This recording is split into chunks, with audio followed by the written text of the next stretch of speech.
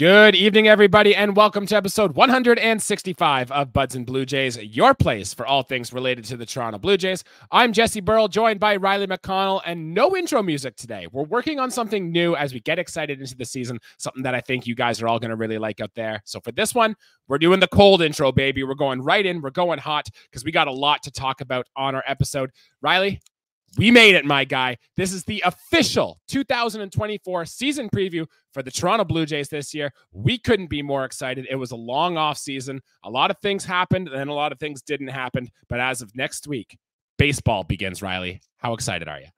Well, man, I'll tell you how excited I am. Uh, baseball of the regular season begins, you know, later on next week for us, but actually mm-hmm. in the South Koreans. Uh, uh, country of South Korea, there is uh, two teams, the Padres and the Dodgers, who played at 6 a.m. Uh, Eastern Standard Time. And I woke up and I watched four innings before I had to go to work and uh, got to see not Toronto Blue Jay Shohei Ohtani rip his first hit as a Dodger and proceed to steal first base. So uh, if that tells you how 2024 is going to go, just in general, it's going to be a good season. Mm-hmm. Uh, there was, you know, a lot of good transactions around the league, this and that. If you're a Blue Jays fan, hey, we can still kind of remain faithful to our homegrown crew. How good are they going to be this year? Jesse and I'll talk about that. That's exactly it. We've been trying to set expectations for how things have gone all offseason. We're going to do the same thing here in this episode. For those of you who are just joining the show, if you are new here, welcome glad to have you. Like the video, subscribe to the channel. Please do all that fun stuff. Well, our show is a little bit different during the regular season than it is here during the off season. In the off season, we come at you with one episode a week, usually talking for an hour, usually telling crazy stories, getting wild, getting freaky on the show a little bit. In the regular season, things are a little more calm. They're a little more composed. We do try to do an episode after the end of every single series. We like to give our thumbs up and our thumbs down, our winners and losers, if you will, of the current series. Look at the things on the farm, look at the prospects, and we come at you with two episodes a week during the regular season. So please make sure you subscribe, like the channel, and follow along with us all throughout the regular season. You don't want to miss that. But Riley, without any further ado, you ready to get into it? The official preview for the 2024 Toronto Blue Jay season let's talk about it. Let's get her done. And like Jesse said, guys, uh, this is we will do this in the off seasons, but what we love to do is break mm-hmm. down mm-hmm. those two game, three game, four game series. Doesn't matter. Jesse and I will give you those recaps. And if you like what we do in the off season, you're you'll surely love what we present to you after a good hard fought series. All right, well, let's get into it. And Riley, it is no secret that the Toronto Blue Jays will go as far as Vladimir Guerrero Jr. will take them this year. And I think the top storyline for us to follow going into this season is just simply the performance of our big dog, Vladimir Guerrero Jr. How is he going to do? Is he going to come back to that MVP form we know he has in there? We talked about him a lot this season, but just to give you the Coles notes, last season, 26 home runs, 94 RBIs, played 156 games, but a 788 OPS, which was his lowest since his rookie season. Expectations are high for Vladdy going into this year. He's coming to camp in better shape. And for what it's worth, he's had a monster spring, three home runs, OPS over 1,200. He's the cover boy on the new MLB The Show. The projection system still love Vladimir Guerrero Jr. And the things that he's talked about this year is swinging at the pitches he knows he can do damage with because he is so good on those pitches, Riley. How are we feeling? Do we think that big season is coming from Vladimir Guerrero Jr. this year? I mean, it is very hard to top what he did in his MVP runner up season in 2021. Mm-hmm. And then in 2022, we can look back at Vladdy and say, hey, he kind of took a, you know, step back. 2022, we can forgive that. Um, we look at last year and what he did in 2023, and we go, wow, is this guy age 35, 36, 37. It's like, no, like that's we're 15 years behind that. Uh, Vladimir Guerrero Jr. is still very young. The sky is the ceiling for him. And yep. I think the it, like in spring training, he's he he looks great. Jesse, like you said, three home runs. He hits the ball extremely hard, whether it's a worm burner or the absolute missile um, that he hit. I don't I, I I don't even know who he's playing. That's how much spring training games mean to me. You forget the opponent of a lot of it. I know he hit an absolute nuke. I know he had another one today. And I think those are all good signs. Uh, take it uh, what you will for spring training games. But the fact that we are seeing Vladimir Guerrero Jr. elevate that ball is fantastic. His bat to ball mm-hmm. skills is very real. This is a guy for his power that does not strike out a ton. This is a premium type hitter. Um, where Vladimir Guerrero Jr. at his highest ceiling, he's the kind of guy. And I mean, if he hit 48, there's a chance he could hit 50. Whoa, I'm going to back that up a bit, but I'm going to say 40 home runs is certainly an achievable mark. And a 300 batting average is also an achievable mark if Vladimir Guerrero Jr. is at his very best. And I think that's what it's going to take for him to be an MVP. Now, I would be satisfied with 35 home runs, something like that, but we mm-hmm. can't have a sub 30 home run season for Vladimir Guerrero Jr. and where he just isn't getting on base or even hitting for extra bases. It seems that every major hitting, uh, either counting stat or average stats, um, whatever it may be, kind of took a dive um, since 2021, 2022, and then last year in 2023. So for him to return, I think it is very much possible. And for the Blue Jays, they're going to need that Vladimir Guerrero Jr. if they are going to a make a run at the uh, division, or yep. two, uh, like if he plays the same way he did last year, I think that really really decreases the Blue Jays' odds of even making it to the postseason. Yeah, that is the big thing. We need that MVP guy to come back, and we really need it. Uh, two things with Vlad. The games played. He's been fairly durable the last three seasons. He's played 156 games or more in each of the last three, but the power numbers have kind of dipped a little bit, going from 48 to 32 to just 26 last season. Don Mattingly seems to have fixed what has gone on with Vlad swing, and if early indications this spring mean anything, it does probably show that Vlad is set for a good year. You talked about the home run total. I'm going to give you a prop for Vladimir Guerrero Jr. 33 and a half is the line, Riley McConnell. Are we going over? Are we going under? I'm gonna say I'm gonna say over. I'm gonna say that uh, I'm not. You know, don't keep this in stone, but I think high 30s would be a good mark, and I think that's very achievable. I'm going over on 33 and a half for sure. Uh, it's tough because he's only done that one time in his career, and that was the MVP season. But man, let's be real. I'm impressed. I'm floored. It, it, we're, we're in spring training season. We're very optimistic. I'm with you as well, Riley McConnell. I'm feeling the over on Vladimir Guerrero Jr., 33 and a half home runs this season. We got to move on to the next player. And if this team is going to be carried by Vladimir Guerrero Jr., the guy on his back, the guy helping him push that castle up into the pennant to climb that mountain is our shortstop, and that is Bo Bichette, who last season had a very good year as well. The defense took a step forward, and he hit over 300, 306, 20 home runs, and 814 OPS. And he only played in 135 games last year as he was dealing with that leg injury later into the season. Um, he was on pace to lead the American League in hits again if he didn't get injury, and he's become a rock at the top of that lineup here. He's going to be consistent. He's been hitting the ball hard this spring. Again, he had an exit velocity. Um, I think that would have been his third highest hit of all of last year. So good things to see. He's talked a lot more this offseason too about, you know, it's it's time for us to get it done. We're not necessarily the young guys, the baby Jays. It's about development. It's time now to get on the field to produce and get stuff done. And I like that from our star shortstop and Bo Bichette. So how are we feeling, Riley? Is there another gear here in Bo Bichette's game, or is just us platinum of consistency what we're going to get from this guy? I love a consistent Bo Bichette because I would say that d- despite the injury, he still finished with a very good season line last year, especially with that 300 average. I think that's what you can expect. Um, it's a guy. If I I say he does get the 200 hit total, but this guy is a hit compiler, and you're seeing the danger. See the thing about a guy like Luis Arraez, who is mm-hmm. a the National League going to probably be the National League hit leader if I was to put money on it, which I won't. Um, the difference is Bo Bichette has the ability to he has that extra base pop. And if yeah. anytime Bo Bichette, I, I I I think there's a world, Jesse, and it could be this year, it could be some point, that Bo Bichette, some of those doubles he hits hard off the wall, leave the ballpark, and he has a season where he hits 30, 35 home runs. That is nowhere near out of the question. With the amount of uh, bat on ball this guy gets. I mean, he's a shoe in. You know, he's not going to take his walks, but his defense is improving. Um, I think that uh, speed is kind of a non factor with him. He's still very mobile. The fact that he doesn't steal a ton of bags is fine by me as long as he runs the bases smart. Um, yep. he's he's a top of the order guy for us. He will be for a long time, I hope, because he is that dangerous. Um, as far as Bo Bichette goes, if if there is Vladimir Guerrero Jr. as our team MVP. But if anybody is to be the best complementary piece for Vladimir Guerrero Jr., it is Bo Bichette. He is one of the most dangerous hitters in baseball if there are runners on base.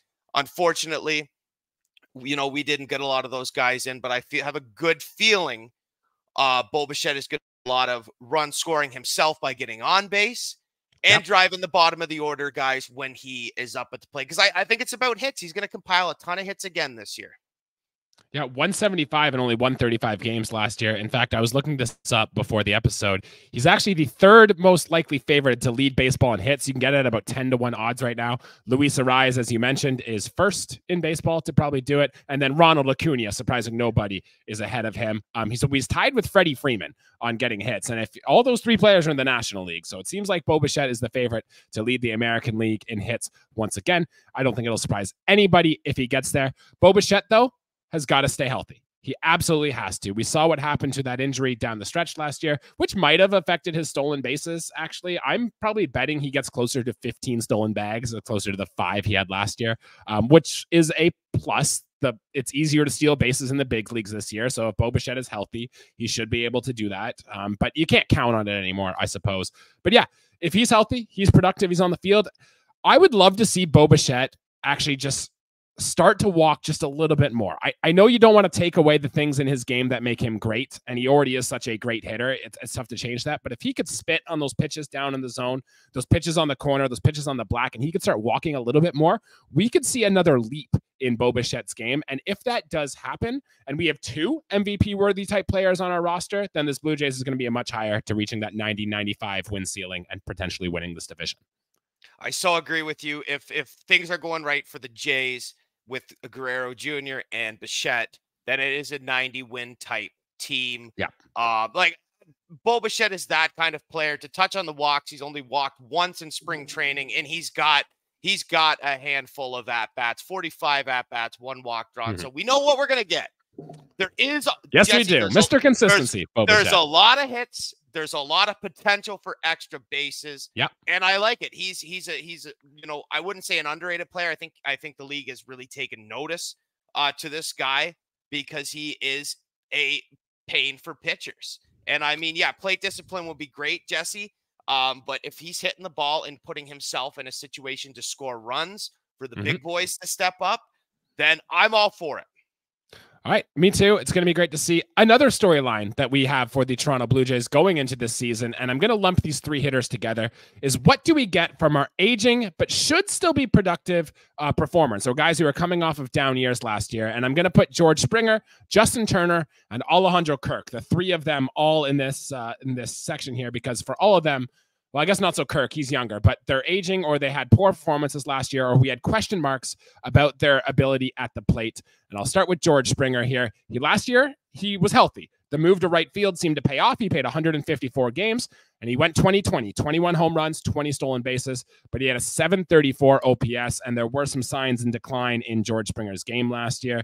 The exit velocity numbers weren't as good. The walks went down, the strikeouts went up, and he was very vulnerable to sliders.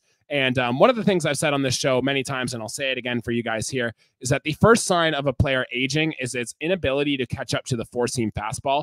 And George Springer's bread and butter throughout his career was he was able to crush the four seam fastball. That wasn't the case last year. Um, he went to actually a negative run value against it, and he'll be entering his th- age 34 year old season. I'm not certain about him. And you can echo a lot of those things for Justin Turner, too. Just 39 years old, struggled to hit the fastball a bit towards the end of the season here. And um, yeah, I if you want to hear more on Justin Turner, we talked about it last episode and what my thoughts are on that. But those two players, especially, and then you can get into Kirk if you'd like here. Um, how confident are you that these guys are going to be highly productive players going into the 2024 season?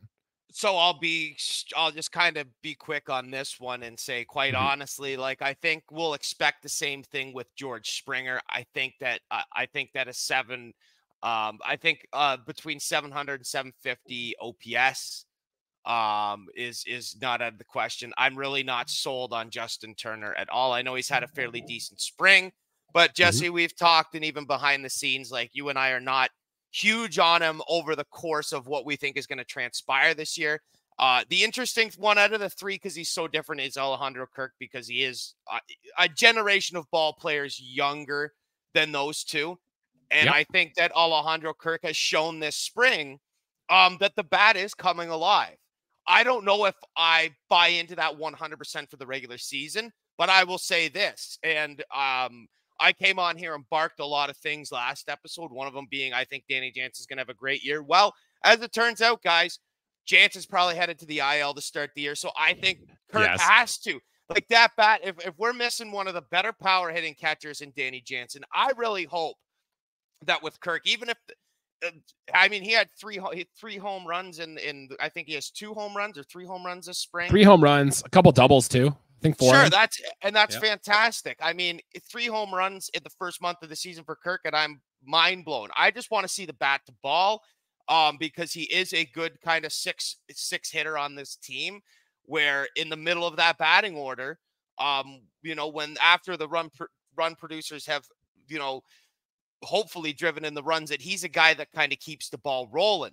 Mm-hmm. And mm-hmm. in his first full season, he kind of did that for a while, and then he's really slowed down since he was named an All Star and a Silver Slugger and and all that. So I'm less confident, like you know, that I think Vlad can resurge his kind of All Star caliber MVP before Kirk does, but I would like to see more consistency with Alejandro Kirk. He's gonna need to, you know, quite literally and um like step up to the plate and and in in yeah, Jansen's presence. At least right? if it's not if he's not going to provide the power that Jansen will, at least step in and fill in a spot where you're getting bat to ball and the on base percentage is way up.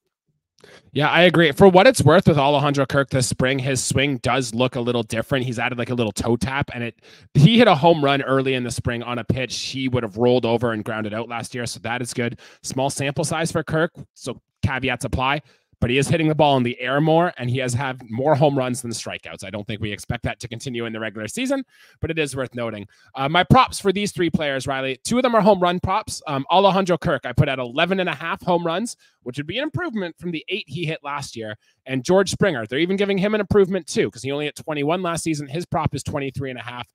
Over under on those two.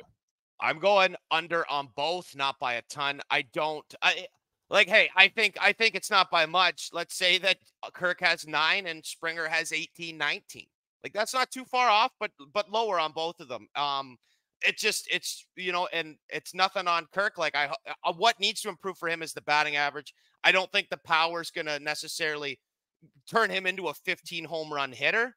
Um high single digits would be great but that batting average and the and you know his ability to draw walks needs to kind of be there for this team to be successful it'll be something to watch early in the season for sure because Kirk is going to get a lot of playing time early on in the year. And one more thing on Justin Turner before we uh, turn the page on him. If he is a full time DH, this really does hurt the Blue Jays in a way. We saw how Kendrys Morales really affected the Blue Jays not being able to play in the field. If we can put Justin Turner occasionally at second base, or more importantly, occasionally at third base, and get a guy like a Daniel Vogelbach, or if George Springer needs a DH day, or if Jansen's healthy, Jansen can have a DH day it really does make this team click and it can reach its upside more if Justin Turner could play an admirable third base. The Blue Jays haven't put him out there once at all this spring training, so I don't think they're going to during the regular season unless there is an injury or something dramatic happens. But my over under for Justin Turner, Riley, is four and a half um, games not at DH, at a non DH position. So I guess you could pretty cheat. He probably gets at least five games at first base, but I put it at four and a half. What do you say for Justin Turner? I, I, I I'm gonna say I'm gonna say the over. Like this is a guy, a 39 year old DH who's not named David Ortiz. I think I think it's a lot a lot of irrelevancy in what he can do defensively. We know why the Jays brought him in. Oh, he's our DH, and we kind of go, we kind of snickered and went, okay, well, what's he gonna yep. do at DH? Um, and we've looked at what the ceiling possibly is. We're not super impressed. So if he can play a little bit of defense to go with that, then I guess it makes it a, a little bit okay. Still kind of a sour taste. I hope he can yeah. perform because with the players that were on the table, we talked about this in episodes far prior to this one. Um, yeah, if if he can't play defense at all, then I'm still kind of shaking my head at the trade. or the uh, signing. Sorry, but uh, yeah, five, five, five games at first base should be the bottom line. I agree, especially if God forbid something does happen to Vladdy or Vladdy just needs a few DH days. Justin Turner is going to primarily fill in at first base. The next players, the players that are going to see significant offensive time with the Toronto Blue Jays, and I'm putting these three players together, Riley Dalton Varsho, Cavan Biggio, and Davis Schneider. All three guys who got a lot of playing time, especially when after Davis Schneider came up last year. Guys who maybe underperformed a bit, with the exception of Davis Schneider. He hit the ground running. We know the Davis Schneider story. But guys who I think we're both pretty optimistic can have a very impactful season this year. Um, Cavan Biggio, for example, if you look at his season line, 235 with nine home runs, but he finally got that WRC plus over 100, turning into a league average bat last year. And it was better in the second half with an over 400 on base percentage in that second half. He's getting on base in more than half of his at bats so far this spring. Spring training means nothing, I know, but it is very good to see. Dalton Varsho, we talked about him a few times here as well. He looks really good this spring. I think last episode, you and I talked about how if the Blue Jays were to have a surprise five war player on this roster, it would be Dalton Varsho. And Davis Schneider, who's I don't think there's a single Toronto Blue Jay who has more variance between how they could do this year than Davis Schneider. Like he could go on, hit 35 bombs, become an all star, be a mainstay, turn into like a Brian Dozier, Dan Uggla, or he could be in the minors in May and never see another big league appearance again. Um, so it's very curious of what's going to happen there. But those three players, Riley, tell me what our expectations should be on those guys this year.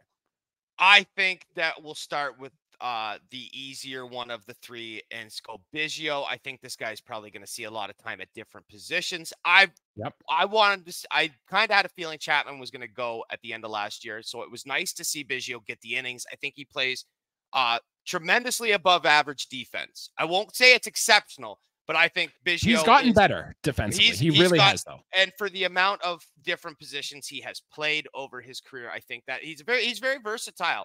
Jesse, his number one tool coming up through the minor leagues is now starting to show a little bit in mm-hmm. major league spring training. What are we taking away from that? Well, I what I'm taking away is you kind of have to uh, dilute that a touch. Uh, Biggio's never hit for a high average, but been like 120 points um, higher on his on base percentage. Yep. So, uh, I mean, if he hits 240, that's a 360 on base percentage. I mean, I'm yeah, we'll take that, that every time. Yep. To, but then he has to be a 240 hitter, and what's that going to mean? And I, I mean, it I'll now Varsho, and it's kind of the swing adjustments, trying not to loop the swing, and now I'll uh, move over to uh, Varsho because I think he had way too much loop in his swing. He's having an excellent spring so far, Dalton Varsho. I think he's a lot quicker. He's short to the ball, and I think that goes with his hitting style more. Um, Varsho hit 27 home runs in his first full season with the Diamondbacks. And I think I said probably, gosh, it'd probably be almost over a year now. I or more. I said if a guy can hit 27, a guy can hit 30. And yep. I'm kind of changing my mind a touch on that. Um, if uh, I, I would surprised, me if Varsho, it would surprise me if Varsho did hit 30. I'm really expecting a higher um, batting average out of Dalton Varsho this year, just how he has looked in spring training and small adjustments he has made that are actually major adjustments. I mean, he's got, I think he's got it over a thousand OPS and a, yep. and, and, he's got base, some yeah, extra base hits lefty on lefty too, which you didn't see yeah. much of at all last year. 11 points shy of a 500 on base percentage in spring training. Dilute that, obviously, spray, put something in that, and then go, okay, what is he in the regular season? We don't know, but it looks good for Dalton Varsho for um, his batting average and his on base percentage. You know, maybe a little deductions in the power numbers. I doubt it, probably the same as last year, but a 250 average would be great. Now, everyone's favorite hero, Davis Schneider. yes, the mustache I, man, Davis I Schneider. Know, I don't know what to make of this. He hasn't been very good in spring so far. He can hit a baseball extremely hard and far a lot of swing and miss in his game. Jesse, we were kind of talking about the fastball. I was kind of poo pooing the way Schneider looks at a fastball. And I think the next text you sent me was, yeah, well, he's uh, like, and you sent me the statistic when he does hit the fastball.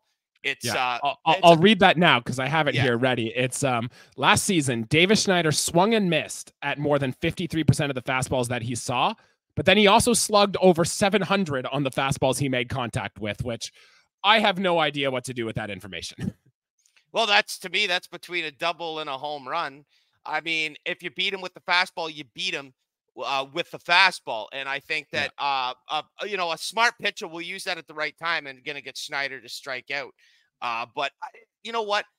If Davis Schneider starts the year in AAA, no one gets sad. No one start you know getting angry because he's not there. He's still you know he's not the, a super young prospect, but he's got a lot of potential and he will get another chance at the major league. This isn't a one and done. See you later. Like he will get major league at bats.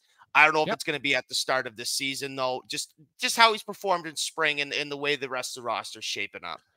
So my over under on these three players. The first one was Cavan Biggio. I put his OBP at about 350. You said you might get to 360, so I'm assuming you're taking the over on that. Yeah, one. that's a that's a close one. I I, yep. I would say I would say I would say over, not by a lot though. Mm-hmm. And Dalton Varsho had 24 and a half home runs. If you're thinking he can get to 27, do we think he's there? I think he's there. I'm taking the over on that one, but over tw- over 24 24 and a half. So does he get 25 or more? 24 uh, 24 and a half. I'm going to I'm going to take the un I'm going to take the under on this one. I think mm, the batting average, I think the batting average significantly improves and I think which would help become a better overall player. Yes. Absolutely.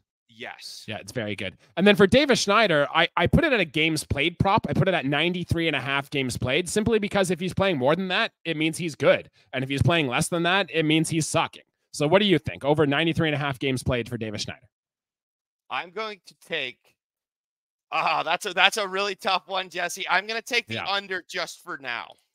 Okay. Just is it because the Blue Jays have a lot of infielders too, and we just don't know what to expect? Like, yeah, it's, it, it, me kind of thinking Biggio's going to hold his own. Um, that uh, that another guy, Ernie Clement, is going to kind of stick around. Yeah, Be a more consistent version of, of of what we need in that role. That Schneider just and he's he's going to do great for for Buffalo if he's there. If he's with the Blue Jays club, we hope that he he's able to be that love the comp Dan Uggla, Brian Dozier type guy because uh, we could really use um like a uh, Florida Marlins 2008 type Dan Uggla guy, a gritty second baseman. Speaking of which, Riley, you did kind of mention it there. Um, Ernie Clement is been putting on a show this spring. In fact, he had a triple today and then immediately scored on a wild pitch. And I even wrote in our notes here, he's probably coming for Santiago Espinal's roster spot. Well, if you didn't know, we did trade Santiago Espinal earlier today, so we will get into that a little bit later here. But which fully guarantees Ernie Clement is on this team. He's made it. He's going to be here. Riley, you and I have joked quite a bit this offseason. Well, he was a one war player in 30 games last season do the math, give the guy 150 games, he's a five war player. I know we kind of said that a little tongue in cheek, Riley, but like he looks fantastic. Exit velocities galore. He's been playing good defense. Like he was hitting leadoff in front of Bo and Vlad today. Like Ernie Clement could be a full time player and might even be a top five hitter on the Toronto Blue Jays this year. I'm talking myself into it. I'm all aboard the Ernie Clement hype train, Riley. Um, tell me I'm wrong here or don't guy, come on aboard. Join the train I, with us. Just, just, just to put in perspective, it's a, if a guy with just over 330 at bats with a 64 OPS plus changes that from being on. I think he was sure. with he was with the Guardians, he was with my Oakland A's, and uh, maybe another team. I'm not sure. Um, but, but if he no, just those two teams. But if he can turn that and basically turn that into a five war, which pretty much eliminates everything we said about Biggio, unless he's playing full time third base. But if Ernie or Clement, right field, if something happens to Springer, like yeah, let's yeah, let's get crazy with it, Jesse. Why not? We're talking about a five war season for Ernie Clement. Uh, nothing sounds crazier than that. I think that'd be amazing. I mean, Jesse, we like this type of guy on this club. Uh, yep. he he. I mean, if there's a hustle guy if there's kind of another gritty guy, but more of a finesse guy. Obviously, Davis Schneider a little more stocky. Um, I think that uh, Ernie Clement very athletic, very good fielder. And is he getting lucky with some of these hits? Possibly, but he's he but, sure but he's also not though. Like he is earning a lot of these hits. They yes, but so you have to be lucky to be good sometimes in the game of baseball, of as yeah. we all know, Jesse. That there's a lot of variables into the game and I think uh, I I think everything's going. I mean, uh, he's playing at the at the uh, dice table, rolling lucky number seven every time it seems. And I,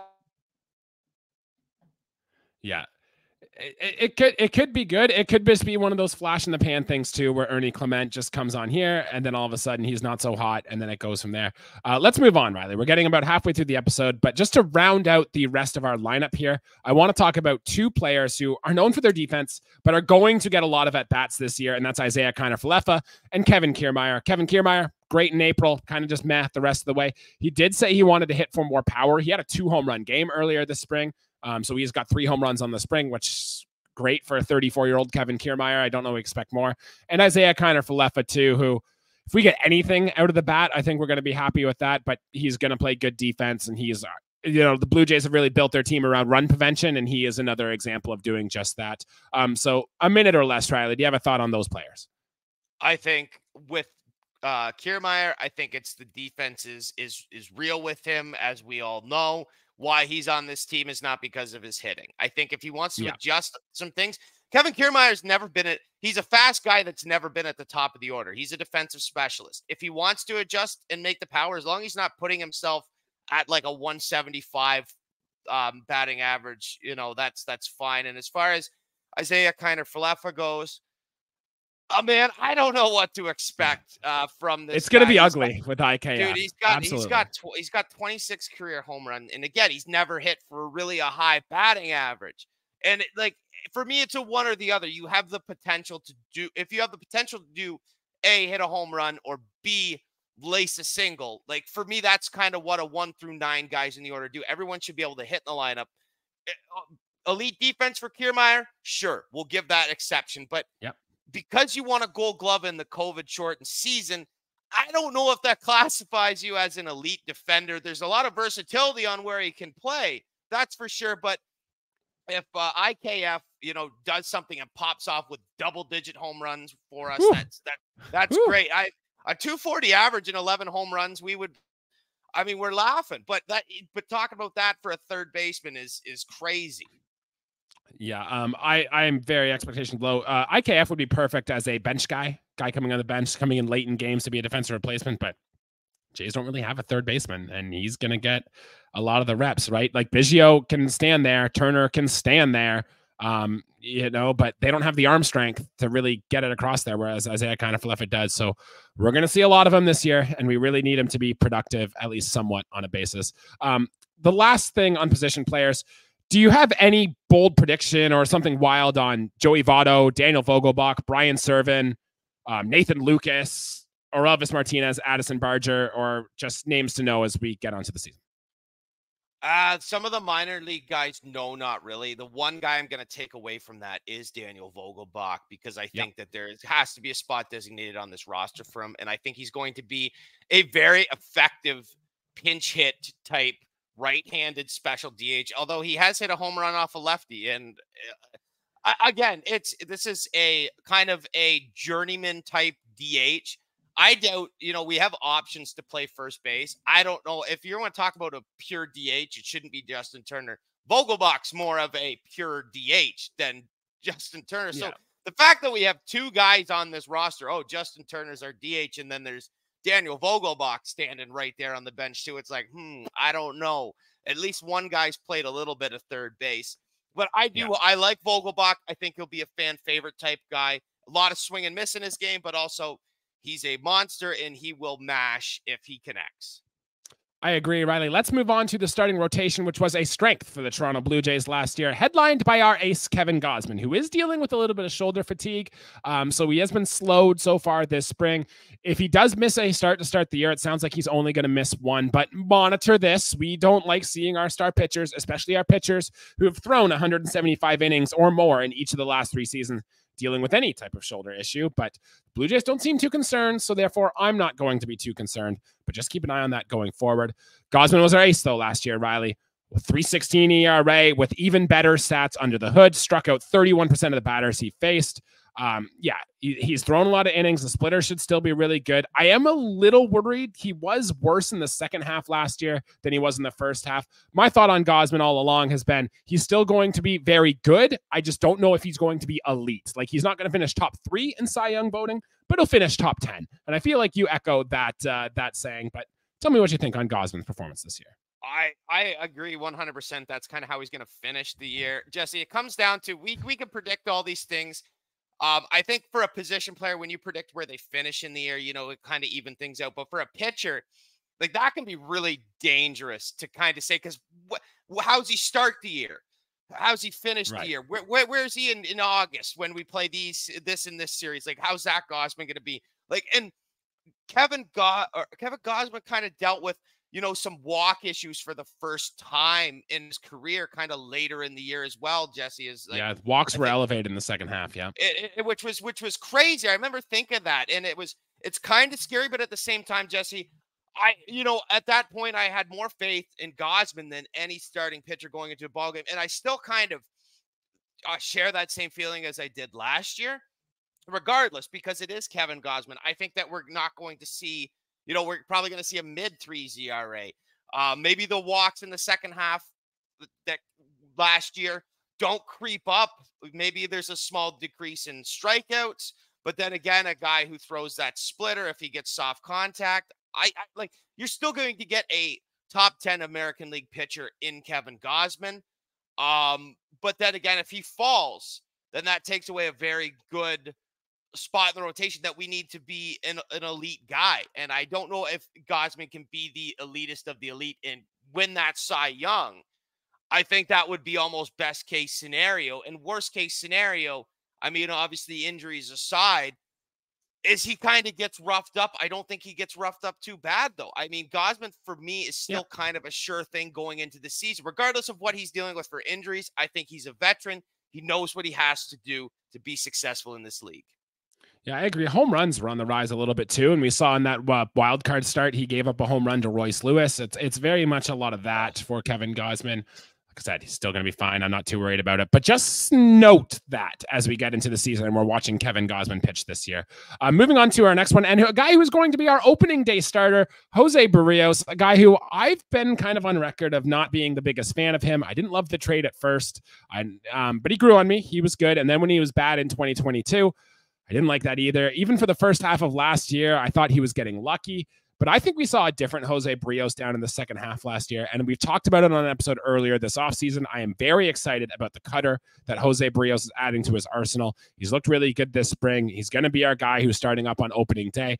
I feel very good about Jose Berrios. He's been consistently that sinker slider ERA combo. I think if all things go right for Jose Berrios this year, we could be looking at like a Corey Kluber in his Cy Young years type of season, which I'm not predicting that Jose Berrios will win a Cy Young award, but that is what it will look like if everything comes together, which I think could happen this year.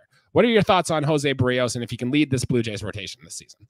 Well, my thoughts are, Jesse, you simply did not watch the late 2010s American League Central because Jose mm-hmm. Was the best thrower in the late 2010s with the Minnesota Twins. I thought he was I thought he was going to win a Cy Young 2018, 2019, the way he was dealing back then, a 200 strikeout type guy. The walks and home runs weren't a problem. Um, and then, you know, got shifted over to here 2021, partway through the yep. year, and and finished the year very strong. And like you said, 2022, let's forget about that. Um, 2023, Jesse, very good year. Um, he's going to have to really ramp it up in a lot of different categories to be a Cy Young guy. Um, it's yep. been a, I, it's it's it's not out of the question.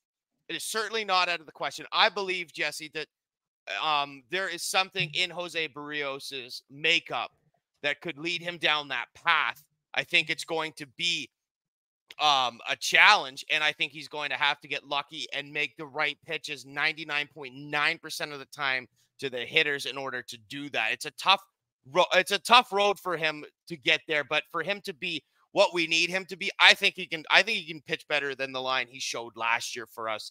Um, I, I still think he's got some of the best uh, pitch pitch types, kind of complementary pitches in baseball. And like you said, the cutter with the slurve very nice addition there. Um, I like Jose Berrios going into this year. I've always, I've, I never lost faith in uh, faith in Jose Berrios, even Good, when I did. I know you did. I, I, I'm here. I'm here. For, I liked him when he was a Twin, and I like him uh, even more as a Toronto Blue Jay. Jesse, we're stuck with him for a while. So why don't you like him? Why don't you drink the Kool Aid of Jose Berrios is going to be very good this year? Is he going to win a Cy Young?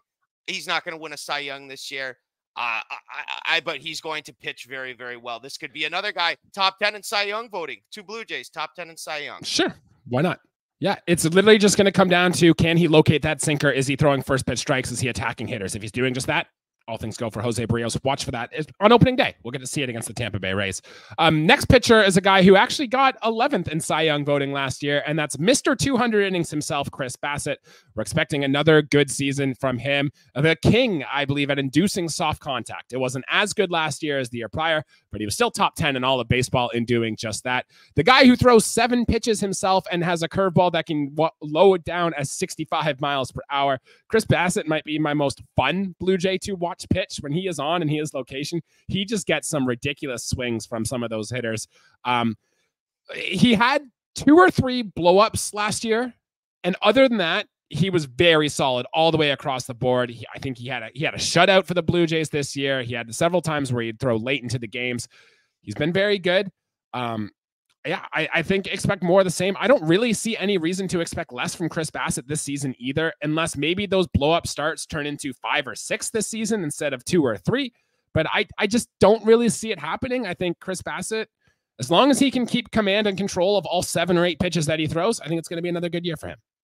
If he goes another 200, I think he was 200 on the dot last year, right? Yeah. Was it not, or yeah. something? Like if he right on the nose, 200. Yep. If if he does that again this year, that something went extremely right, and I am mm-hmm. all for that. that. Like he was he was super he was super super good for us last year. The fact that yeah, Jesse, better almost better than Gausman at at pitching well deep into ball games where it was like you didn't want to take the guy out because he was doing that good. And it's not like he is blowing guys away with the fastball. Um, this is a guy with the pitches that he throws that's going to get the soft contact at the time. Well, Team Gold Glove last year for the Toronto Blue Jays, and who better to have that um, on the hill than than Chris Bassitt to you know let the defense do the work. And look what happened. Chris Bassitt had, um, I think, the best best year of his career, and that came bounce off a year where he had the best year of his career with the New York Mets after coming from my Oakland days and kind of suffering are things going to ramp up and get better from this year? I would like to think that they're going to stay around the same. Um, maybe a slight decline in almost every category. I, I, I really don't know. He's a he's a fun guy to watch. I don't want to root against him because I think that for us to call him our number three guy, I think he's an important part to this team. The guy Chris Bassitt's a warrior. They, they call him the Hound Dog for a reason. The Hound Dog, yeah, rough, rough. He's been that very was, good. Yeah. Uh, that was lame. Yeah. That was so lame, so lame, Jesse. But that's if, all if right. you've been listening to this long enough, you know it's uh, there's going to be more of that going I, on. all the, all the all the crickets in my yard just they were just buzzing right like crazy. You didn't hear them, but they were going nuts for you, dude. I believe it. I believe it, my guy. Um, look, he had four starts last year where he had allowed five earned runs or less. Everything else was four or less for Chris Bassitt. I expect more of the same. Um, moving on to the next guy who's going to get a lot of good innings this year is Yusei Kikuchi. Last year, he seemed to finally figure out those breaking pitches, the slider and that curveball he added to his repertoire led to one of the good season. Yusei Kikuchi still has some of the best stuff from the left-hand side in all of baseball. He throws 95 with that fastball. He's been working on the changeup a lot this spring, and if he can figure that pitch out, then maybe there is another gear. We had Isaac on the show last week, and he talked about he's not quite sure we're going to see a repeat performance from Yusei Kikuchi. And I will say, at times, it is a stressful watch to watch Yusei Kikuchi because the catcher will be setting up down low and away. Kikuchi puts it in the strike zone, but it's way high and outside, and it's it's not like he always seems to know where the pitch is going, but his stuff is so good sometimes it doesn't matter. Um, I look, Kikuchi's my guy. I love watching Kikuchi. I think he's going to be good yet again, but he was very much the five and dive starting pitcher last year. And I think that's probably the plan again for Yusei Kikuchi going forward, especially in a contract year for him. So tell me what I should feel about Yusei Kikuchi this year. Yusei Kikuchi reminds me of my old throwing partner, Wellington Lynx Hall of Famer, Pat McPherson. And the problem okay. with guys like that is that they can get wild at times. Yeah, he doesn't yeah. watch the he doesn't watch the show absolutely, but that's okay. that's okay. Love him anyways. The, the the good things about Kikuchi is the velocity, the strikeouts, um, the, the then the bad things, the walks, the home runs. If he's able, if he's able to basically just kind of hone it in and just and and give his best stuff. Which I I, I mean I think that he's going to be fine this year if we're going to call him our number four starter. I don't think that I, I, I like. I would like to see him throw more innings personally. I know that. So would I. If he's on, then absolutely, I would on, like that. Well. I know he's kind of a he's like you know kind of forbidden three times through the batting order, this and that. But I think he's he's yep. on. Let him go. And again, there was there was no holds barred in 2022 for taking him out and moving him to the bullpen and things like that. Like there was uh there was no no question that his leash was real short at one point as a Blue Jay. And I think now he's shown that he can be a, a, an MLB caliber starting pitcher. And I would like to see him do that. He's, you know, I don't know if he's coming back. This could be his last season in Toronto, and I hope it's a good one. It's got to be. Our best case scenario actually is that Yusei Kikuchi puts together another monster season and he cashes in in the offseason and goes somewhere else, finds another team. If you believe in the contract year narrative for Yusei Kikuchi, a guy who you know, the Blue Jays did pay him a good amount of money, but a guy who's really looking for like that next payday could happen this season with Yusei Kikuchi. Um, I want to move on. We, we'll talk a lot about Kikuchi as we get into the regular season. But Riley, Alek Manoah, and all I'm going to say on Alek Manoah, because we saw him have one game this spring. He only got five outs. He hit three guys, and even the hits he did give up uh, were not that good. Um, are we going to see him this year, like at all? If you had to put an over, if I put an over under, no, I'm not going to do that. Actually, my prediction for Alek Manoah, Riley, is come September 1st, is Alek Manoah still on this 40 man roster? Dude, I would have had him in St. Louis in November, first and okay. foremost. um, yeah. I, I think he's still on the 40 man roster in, in November. Um, I would like to say, I, I'm, I'm going to say that he's going to, I'm going to say that he's going to get um, around 10 starts this year. I don't have an over under. So I think that I think that he's going to be given the opportunity, and I think Jesse, this has got to be the last straw, right? It's got to be because think about like, what's going to happen. He's he's hurt right now, right? So he's got a shoulder injury. He's not going to be on the team on opening day. He's likely going to start the season on the IL. He's going to go through a rehab assignment, which I believe is 28 days you can spend in the minor leagues. That's four starts. So we're going to get four starts worth in Buffalo before, and he's got to get through that healthy, first of all. If he does that, we will should know by those four starts if he's good enough to pitch, even out of the big league bullpen this season. Um, we should know. I, I think the chances of Alek Manoah coming back and being that Cy Young Award guy, I think are gone. Like there is a chance he's Chris Carpenter. He goes to another team and figures it out and becomes a stud and wins a bunch of pitching awards. But I really do not think so with Alek Manoah. I think the guy just lost it and I don't think he's going to get it back. Yeah, what team did we trade Chris Carpenter to, Jesse? Oh yeah, the Cardinals. Oh yeah, funny how yeah. I did that, eh? Funny, funny yes. how there's interesting. Funny how there's reasoning behind this brain sometimes. I man, I am I am still so kind of ticked that Manoah gave up um partway through the year, didn't report because of the demotion, and then kind of basically he's kind of said "f you" to the guys. In my in yeah, my he quit on the team last season. It, it, sour taste it, it's awful. It is it is awful. And I and I if you're a 36 year old veteran who's been in the league for 14 years, I think that's more okay. But you finish in the top three Cy Young voting once, and you still have options. Nah, buddy. Like you're riding the bus. You're not yeah. flying. You're not flying to the West Coast. You're you're on the bus, man, because uh, you showed your true colors there. And I I like. I'm not going to talk about character clauses and get into personality things, but I think Alek Manoah better smarten up on that front as as well. And kind of okay. you see guys like you see guys like Bo Bichette, who's kind of made himself and kind of presented a more professionalism and and displayed a really good um you know kind of leadership attribute. Um, if Manoah could kind of take an ounce of that and, and turn that onto his personality, I think that would really benefit him. When he does toe the slab, though, um, yeah, uh five what five five outs five batters faced or five yeah you got five outs in five uh, outs so try it, yeah, yeah yeah so uh um one and two thirds innings pitched and hit two batters um three batters. hit three batters. We know he likes to hit batters but the, the, yeah. what i'm trying to say is you know fishing out those numbers is that's not very good. I think that yeah he there might have to be a lot of rehab assignments because we shoved them up we had this debate with with Isaac last year on the show, Jesse, where it was just like, oh, yep. well, what, when do we see Alek Manoah back? We saw him back way too early. So this, for me, this is yeah, kind I of agree. the last straw. Like this, something's something's got to move, man, because we can't have this on a winning ball club. It's it's it's unacceptable. Right, and with the guy who's going to be replacing Alek Manoah in the starting rotation is Bowden Francis, who last season or last episode, Riley, you told me you were going to get a Bowden Francis tattoo if he goes out and uh, he shoves this season. I think he's got to come top 10 in Cy Young voting, which I, I don't think is going to happen either, but uh, that's what I'm rooting for going into the season is get a nice Bowden Francis tattoo.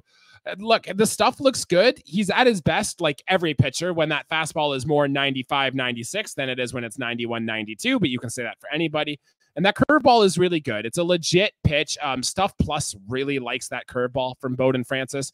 He's going to get a run here. He was good in the bullpen for the Blue Jays last year, too. So we will see. We'll see him a lot earlier in the season. Um, I don't really have much else to add on him, Riley, but we also got to talk Ricky Tiedemann who is the Blue Jays' top prospect, who's going to get a lot of talk as the season goes on. Likely to start the season down in AAA Buffalo as the Blue Jays are going to try to work up his innings. I think he only threw 60 some innings between the stint at the Arizona Fall League and in the minors last season. So the Blue Jays want to make sure that stuff can perform. He's shown flashes of good stuff this spring, but also shown flashes of inconsistency, kind of like he's young and he hasn't thrown a lot of big league innings. Um, but Ricky Tiedemann is going to be a name to know. What should the Blue Jays do with this young kid as we go into the season? Well, I first want to touch that uh, just to touch on Bowden Francis, just real quick. Yes, of course. That no one should if he's if he is shoving Jesse, do not take him out of that rotation. That is mistake Agreed. number one. Yep. Even hey, Ricky Tiedemann's still very young, and he will have a chance this year to throw innings at the major league level. And mm-hmm. I think that I think that he is, you know, it, well, top fifty prospect. Could it be as high as what is he, nineteenth right now? Um, all MLB. It's it depends on the list you look at. Yeah, but he's anywhere sure. between like 20 and 40. Yeah. Sure. Well, whatever. 19, 20, same number, basically. I think that there's a lot to like about Ricky Tiedemann.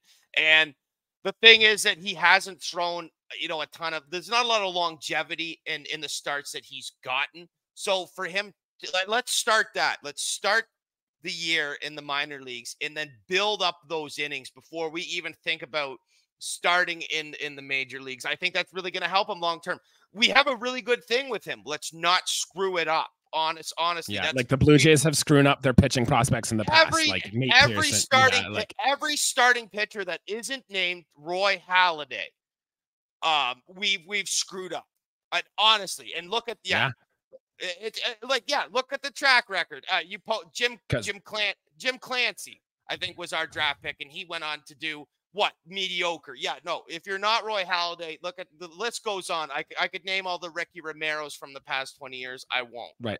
But like even in the Ross Atkins era, like Alek Manoah looked like a, a guy, but he was a college pitcher who rose the big leagues very early. And now look at Alek er, Manoah, right? Like the Blue Jays have built their rotation pretty much through trades or free agent signings, like Bassitt, Gausman, Kikuchi, all free agent signings, right? And Berrios was a trade. Like they have really struggled to develop pitching. So you really, really want to get Ricky Tiedemann right because it's going to go a long way for the Blue Jays to reach their upside.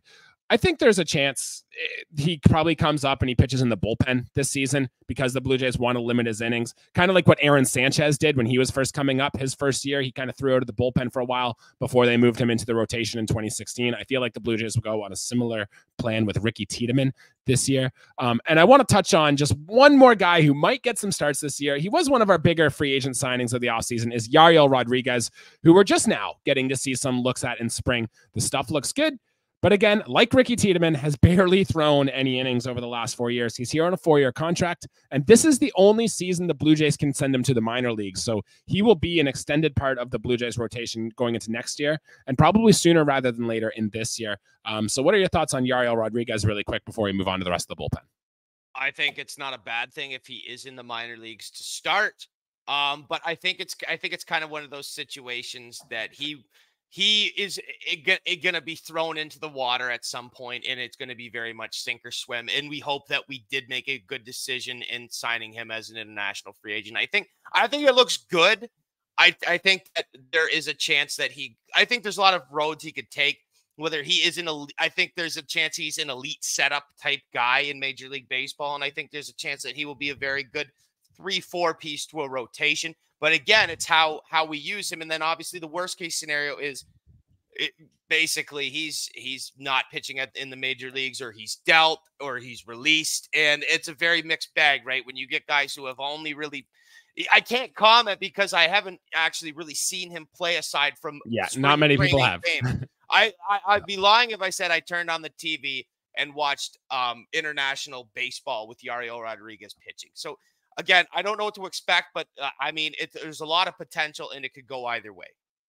All right, let's get into the bullpen here. We don't have to spend too too much time on this, but we do got to talk about our closer, Jordan Romano. And if you didn't hear the news lately, he just got some anti-inflammatory injections in his pitching arm, which you never want to see. Uh, Jordan Romano was grunting a lot this spring. I don't know if that was by choice. He wanted to get the Robbie Ray kind of type vibes in there where he starts screaming while he pitches, or if maybe he just doesn't feel like his fastball has enough zip and he had to do that to get the little extra. The fact he's going through some arm injuries right now, uh, the Blue Jays haven't ruled out him being unavailable for opening day, but again, it's never something you like to see, especially from someone who throws as hard as Jordan Romano does. He did kind of take us, he was still really good, but he did kind of take a little bit of a step back last season. Um, his ERA has slowly risen each of the last four seasons, and his walk rates have slowly risen each of the last four seasons. He should still be good. That slider is one of the best sliders the Blue Jays have in their entire system. Um, if I put the over under for saves for Jordan Romano at 29 and a half, Riley, does he get there? Yeah, he's he's he's hitting 30 saves this year, but you know that's that's thank you for posing that question. I love counting stats, Jesse. I know you don't give yeah, a crap knew you did. saves. The the blown the blown saves is is what is more important than saves in my in my point of view. And it would be nice to see Jordan Romano kind of stay along the same trajectory as, as which he is going. I mean, he's still he is still an all-star level closer. Top five in the American League, top 15 in all of baseball, but top 15 is just half the field as far as closers go. And if he shoves, if he does what he can do and gets those strikeouts, then we're looking we're looking at those 30 saves. We're looking at a successful ball club um, when there is a save situation for what it's worth, elbow injuries are scary, and he's being shut down from throwing for at least a few days. So I'd almost assume it's likely he begins the season on the IL. Erik Swanson's dealing with forearm issues too, and we know Erik Swanson wasn't in camp for most of spring because of the tragic accident with his son. So understandable. But forearms aren't good for pitchers either. They're usually like a, a lead into Tommy John, which is never something you want to see. So let's assume, just at least to start the year, that both Jordan Romano and Erik Swanson are not ready to go for this team. Who's your closer opening day? Gimme Yimi. Gimme Yimi Garcia, man. That's that's that's the that's the guy I that's the guy I think we should see. I could have if uh, I could have answered Chad Green, but he did not have a very good outing in the last couple days. I don't know. I, I, I haven't watched the um the I didn't watch the game. Dad didn't watch the game yesterday, so it was in the last uh three to four days that this happened. I didn't love what I see from Green, but I really liked what I've seen uh, from Garcia so far. Yeah, and Yimi Garcia's stuff too, just the 98 mile per hour fastball, the good sweeping stuff. I agree. I think he could be in line for saves. Um, a sleeper choice, I guess, for a guy who could come in and be a closer, Nate Pearson. I can't quit Nate Pearson, and he can't throw strikes with that fastball, so he's got to get that going first. But he might now have a spot into our bullpen. And I hate to say this, Riley, because he's looked awful this spring. Zach Pop might actually find a way onto the opening day roster in this bullpen too, if there are these bullpen issues. But the good news is the Blue Jays do have a ton of depth and a ton of good arms in their bullpen down in Buffalo. Hayden Juenger, for example, um, Yosver Zulueta. Like there's a lot of guys with a lot of good stuff coming up who could be ready to jump in and take a role. So I'm not too worried about the performance of our bullpen, but there are some question marks heading into the season and isn't something you'd like to see. I mean, it's a short term problem that we can solve but if the if a bullpen problem proceeds and it's just a long term problem, then we're going to run into problem because we run into the the um you know the fatigue and the, the depth chart kind of getting thinned out. I mean, if you're to lose Swanson and Romano for an extended period of time, that is not going to look good. Short term, I think we I think we nip it in the butt and it's and it's everything plays out just fine. Yeah, remember in that 2021 season, the Blue Jays missed the playoffs by one game. Um, if we made the trade to get Adam Cimber and Anthony Bass earlier in that season, and Trevor Richards too, if we made that trade earlier than we did, the Blue Jays are a playoff team. So we can see a bad bullpen sink you. So we got to make sure these guys are performance. Find the right group as quick as possible as you can. Don't throw a Trevor Richards out there for too long so we can be another Rafael Dolis or Tyler Chatwood just because you've committed money to him or whatever it is. You need to find the guys who are going to produce, and you need to find those guys that are going to come in quickly here, Riley. Um, any note on any other pitchers? I actually I did want to mention Tim Mayza. Um, I know it's just spring training, but he did not look so good in his last spring. Velocities were down all across the board. He didn't look comfortable as well either. I hope he's not hurt. I don't know. The Blue Jays say his next spring training game is going to be in a minor league game on the backfields, which I don't love to see that either. So maybe there is something going on with Tim Mayza, which really puts the back end of our bullpen in strains. But uh, yeah, any other of our pitchers, Genesis Cabrera, maybe um, Trevor Richards. Like, do you have a thought on any of those guys, or can we move on?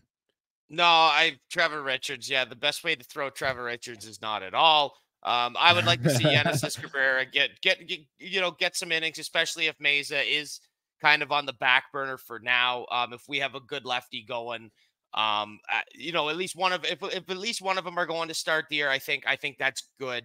And then we get healthy again, and things start to kind of look better um, from the side of the bullpen.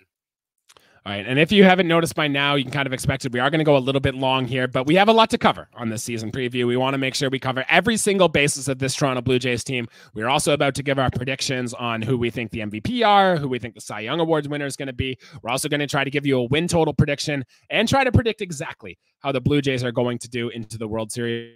But first, let's predict our opening day roster because this is the last episode we're going to do until there are actual games being played so I want to take a stab at this and uh, try to go for the opening day roster. Now, we're going to assume uh, Danny Jansen and Alek Manoah begin the season on the IL. We are not going to assume that Jordan Romano and Erik Swanson do. Let's assume they are part of the pen and they are in the back end of our bullpen. Gotcha? Yep. Okay. I think we can all agree our starting rotation Berrios, Bassitt, Kikuchi, Gausman, if he's ready to go, and Bowden Francis is our five. Correct? That's that's I got the same. I don't have it written down, but that sounds exactly right. Yeah. So our catchers, because Danny Jansen's on the IL, will be probably Brian Serven, who we think has got the leg up on Payton Henry to be our backup catcher this spring behind Alejandro Kirk. That is that. I'm going with Serven as as well to back up Kirk. All right, and then the starting rotation, or the starting rotation of infielders, I guess we'll go Vlad. We'll put Biggio at second, but I mean second base will be a platoon. Bichette at short, which means we're putting Isiah Kiner-Falefa at third, and then the outfield of Varsho, Kiermaier, Springer, and Turner at DH. That all sound right to you? Yep, that's that's that's exactly right. Now that's well, that's I think the easy part. Now Jesse comes the hard yes, part. Yes, now it gets interesting. yes. So we got to touch on the bench here. We, the Blue Jays are going to have a backup catcher. Brian Serven is likely going to be that guy. But then that leaves really three spots because I do think the Blue Jays are going to go with eight relievers to begin the year, especially because our pitchers aren't bulked up. And especially if they are dealing with injuries, you're not going to put Swanson on a back to back. You're not going to put Romano on a back to back quite yet. So I think eight relievers is almost a guarantee for the Toronto Blue Jays this team, which leaves just three position player bench spots available.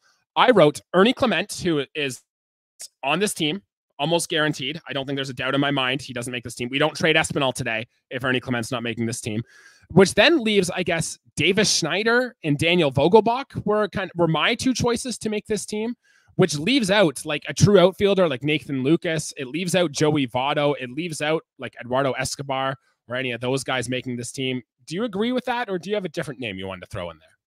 I, I I don't have a different list. I think that's I think that's really, really accurate, Jesse. I don't think Eduardo Escobar should make this team. And I think we would kind of be silly, kind of gimmicky to throw Votto um, just up in that spot. And I and I look, you can look at Nathan Lukes and go, um, you know, he's he's he's paid his dues as a minor leaguer. Yeah, he's had a good sure. spring too, for what it's worth. He, Three hits. He has, and I mean, he would. It's between if he's on the chopping block, the next guy, it's between him and Davis Schneider. Because with that list, Drew, I'm I'm as well going Ernie Clement. Besides Brian Serven, I'm going Ernie Clement, who has performed very well. Vogelbach, and then as the as the next guy, and then for me, it would it would be between uh, a Lukes and a um another guy there. It's so it's it's quarter to eleven, Jesse. Who the who the heck were we just talking about as the other guy? Hold on. Daniel, Don't tell me. Oh. Vogelbach, Serven, Clement. Oh, Davis Schneider not making Davis Schneider. Yeah. That's right. Sorry. Yeah. No, I I have Davis Schneider um not making it if Lukes does make it and and vice versa. I think they're kind of the, the kind of 1A, 1B on the chopping block. Yeah, we talked about too. Like, look, Davis Schneider, like he's a right, if he's not going to start, he's a right-handed hitter, a guy who hits for power.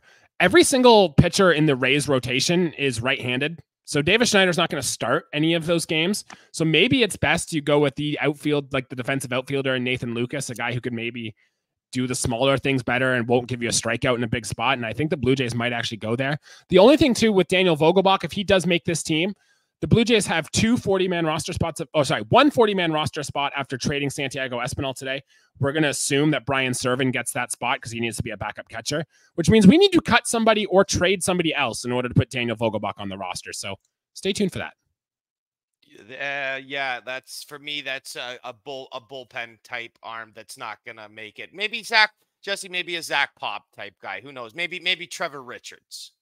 Right. And let's get into the bullpen then, because eight relievers. I assume we're going to go Romano, Swanson, assuming they're healthy. Chad Green, Yimi Garcia, Tim Mayza, Genesis Cabrera are locks, correct?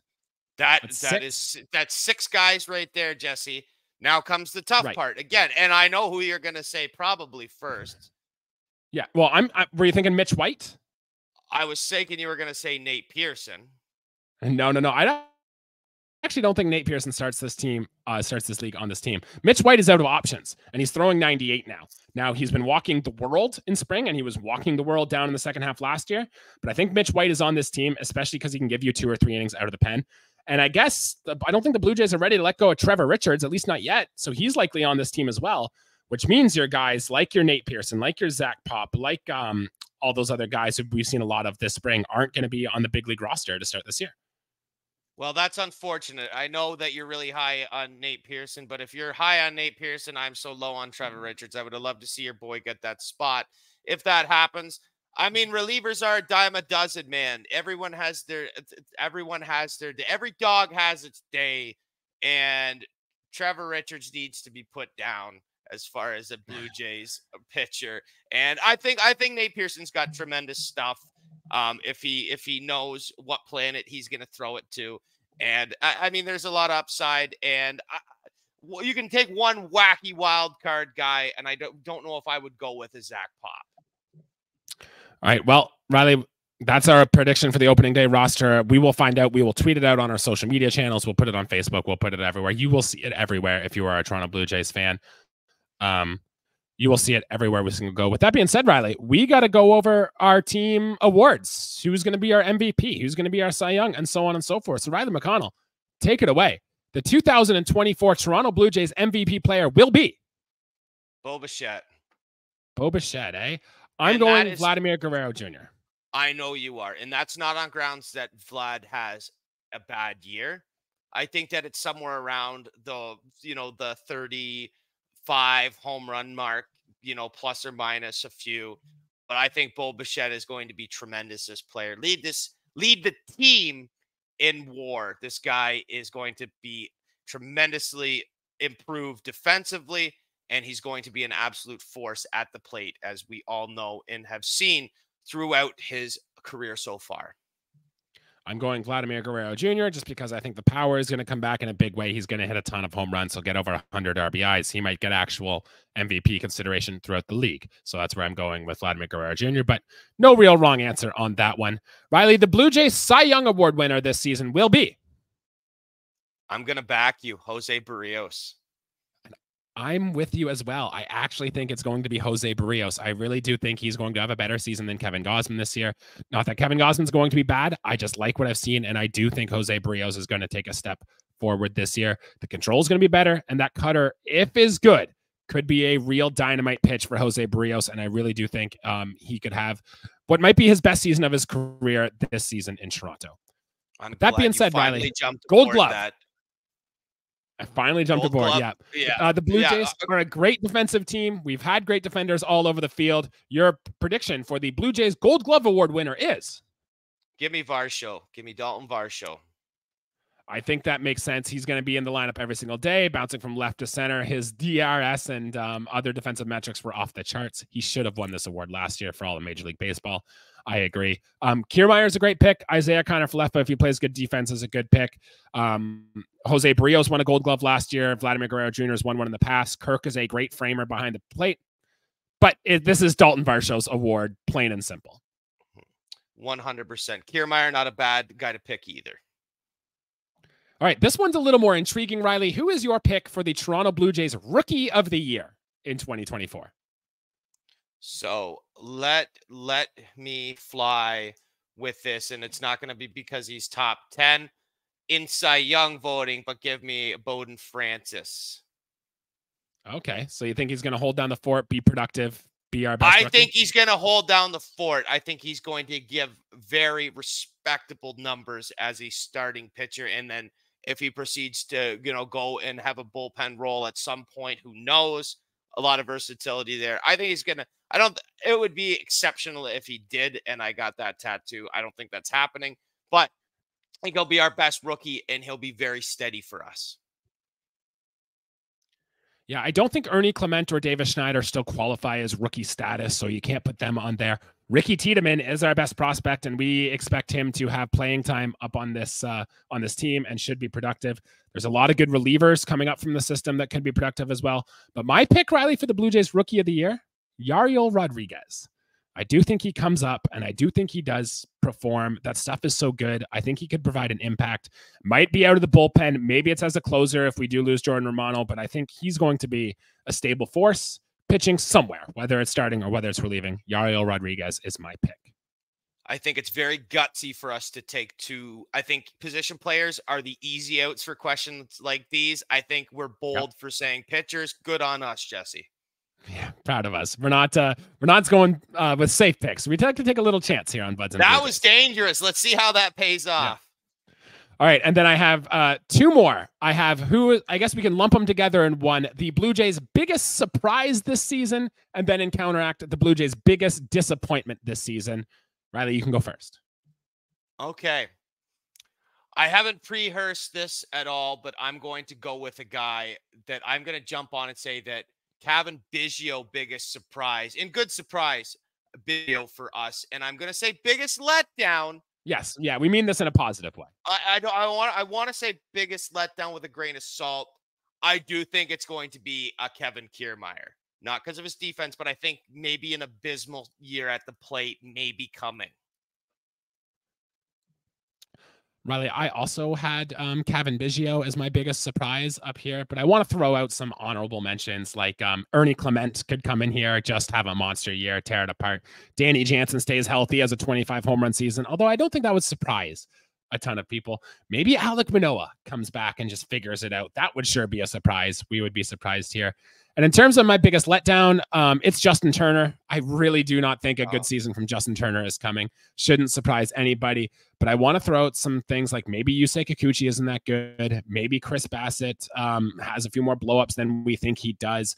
And I, I want the caveat too that this is not injury related. If we lose somebody out for the season after three weeks into the year, then I don't think that should count. This should be strictly performance based.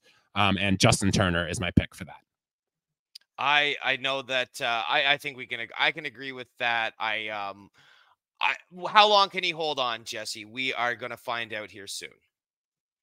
Yep, I agree. And with that being said, Riley, the only other things we have left to predict is the team, is the team itself.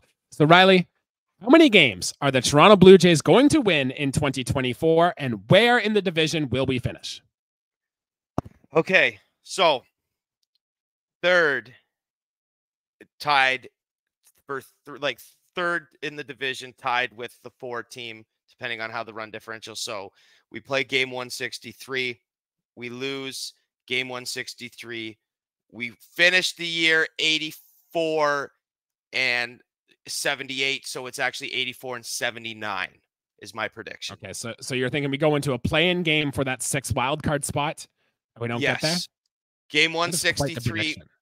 I hey, I dude, it's things might get wacky, and I hate to say it, Jesse, but just just the way that the rest of the league looks right now. I mean, I I'm able to change my opinion of how this year goes, but by course, I only know of what's put in front of me right now.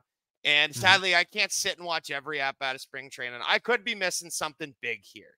But you know, spring training notoriously, you know, don't pay too much attention to it.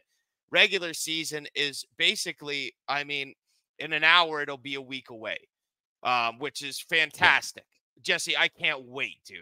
And we're gonna watch a lot of good baseball. And I think that the problem is there's gonna be a lot of teams that we play that are going to be playing some good baseball. We got to get on that level, man. We got to get out to a hot start. Sadly, that's my prediction, man. I'd love to see the postseason, but I think it stops at 163 games. Yeah, vibes are not high for this Toronto Blue Jays team right now. I put us at 86 wins, so that puts us what at 86 and 74, if my math is correct. 70. Um, I do. Yeah, yeah, okay, yeah. I do have us in one of the wild card positions again, and once you get in there, who knows? I think this can go either way, Riley. I think things could click. We stay healthy. The rotation's good. Vlad turns into an MVP. We finally win the division. I remember that 2015 season, which was for Blue Jays fans our age, was the best season we've seen. I remember vibes sucked at the start of that season because Marcus Stroman tore his ACL and like we were not feeling confident about that team going into spring. That season turned out okay. So there is a chance that this season also turns out okay. But there is also a chance, man, we fall apart and we're like a 76 win team. We're contemplating selling at the trade deadline. But uh, 86 is my official prediction for the Toronto Blue Jays. But boy, we are in for a hell of a ride going into this year. Dalton Pompey is a police officer now. Just yeah, I want to throw in a 2015 thing. That's crazy. How long? That's, that's yeah. in another season. Uh, that'll be 10 years. My mind blowing stuff, Jesse. Yes, the vibes are not high we on Buds and Blue Jays like to kind of, you know, be realistic. I know that there's a lot of other podcast channels that are real. Jesse, can you believe this? The Toronto Blue Jays are going yeah. to win the 2024 World Series. Justin Turner, 54 home runs. Oh, can you believe it? No. I think that we want to try and be, I mean, we say ridiculous things, but I want to be as realistic as we possibly can the division around us has gotten better, and we took a step back this offseason, plain and simple. Yeah, like more war going out than coming back in and relying on the guys internally to get better, especially for a team that relying on so many guys on the wrong side of 30 is incredibly risky to do. And with no real big prospects aside from Ricky Tiedemann coming up in the farm to save us, it, it could be a tough season for us Toronto Blue Jays. But obviously, we're hoping that's not the case because we're going to be doing episodes after every series, and I want to have more fun, upbeat, positive episodes than I do with negative ones. So for the content, please, Toronto Blue Jays, let's get together and let's have a good year. And that season will start one week from tonight, most likely when you are listening to this episode in Tampa, in the Trop. Let's get off to a hot start, set the tone right, and let's go on with a bang this season. I want to I want to officially give the first thumbs up of the 2024 Toronto Blue Jays. I want to give Let's it to it. two guys. I want to give it to two guys. I want to give it to two guys. I want to give it to Jesse and Riley from Buds and Blue Jays. Let's get go. Yep, absolutely. Season. Yeah, I'll give myself a pat on the back. Why not? We can get just as excited too. Jesse and I are going to be insanely invested this year as we always are, and we're we're ready. We're locked and loaded to bring you those series recaps, man. I, dude, we're almost there we're at the top of the hill. We just have to coast our way down, and we're there. We've almost reached our destination. All right. Well, that is going to do it for our official 2024 Blue Jays season preview. I think we covered most of the players, all the major storylines that we're going to try to follow this season, gave our predictions. And um, you tell us what you think. How do you think the Blue Jays are going to do this year? Leave a comment, like the video, tell a friend, share it, all the things. That'll likely be our last episode until after the series against Tampa Bay. Obviously, if there is some dramatic news, if the Blue Jays for some reason sign Jordan Montgomery or JD Martinez, we will come back and we will do an episode on that. But until then, this is likely going to be it. Remember, in season, we do 30 minute episodes recapping to each series. So our show will be a little bit different. And we're going to have a whole bunch of fun this season. We're going to be active. I've got a Blue Jays bingo card coming out. So stay on the look for that. We're going to be very active, posting a bunch of clips, a lot of videos, all things Blue Jays related. So if you are looking for Toronto Blue Jays content, you are at the right place. Make sure you hit that like button, subscribe, all that good stuff. Hang out with Riley and I for out the course of the summer as uh, the boys of summer are back. And so are we. Riley, do you have anything else you would like to add before we get out of here and before the season officially starts? I, uh, Jesse, I think we've said enough, man. We'll be yeah. back. I don't know if there's any big news, but we're we'll be back to cover that Tampa series let's hope that it's the start that we need to have a good and successful year in 2024. Let's do it. With that being said, let's go Blue Jays and let's get off to a bang. Thanks, guys you